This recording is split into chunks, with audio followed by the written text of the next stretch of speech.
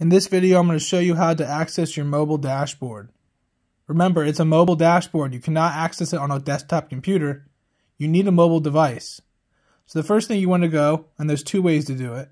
First way you want to go is go to pos.uhaul.net. Okay, you just type that right into your browser, and then you log in with your regular U-Haul credentials. Okay, username password. As soon as you sign in, this will be your mobile dashboard.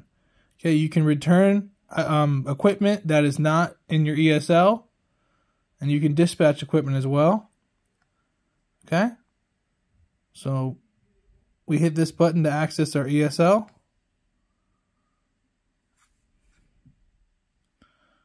Okay, so we are on the ESL.